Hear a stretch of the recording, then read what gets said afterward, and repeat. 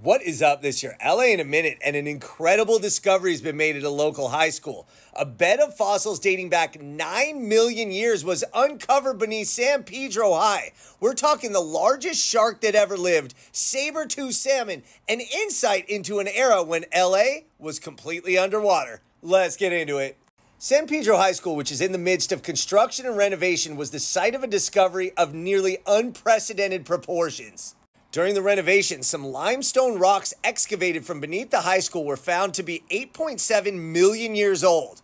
Turns out that those rocks had something called diatomite, a sedimentary rock composed of the fossilized skeletal remains of single celled aquatic algae. And that diatomite helped preserve those fossils, which indicated a rich ecosystem comprising various marine creatures right there under San Pedro High School.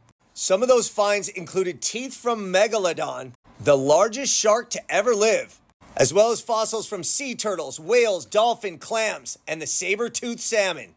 Now, San Pedro High School opened in 1903 but moved to the current campus location in 1937 at the southern tip of the Palos Verdes Peninsula, which, for millions of years, most of LA's geological history, the entire area was underwater. Now, San Pedro High School's campus has been under construction since 2021, and the first find was in June of 2022, and the fossil discoveries continued through July of this year. The majority of the fossils were relocated to Cal State Channel Islands and the LA County Museum of Natural History for more research.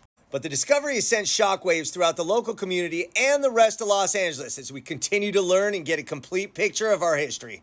I want to thank Mariana Dale of LAist for excellent reporting on this story as well as Jireh Deng of the LA Times. And while the work on the new gleaming campus in San Pedro looks beautiful in 2024, it's worth noting that this is hollowed ground for Los Angeles history going back at least 9 million years. All right, LA, it's been a minute.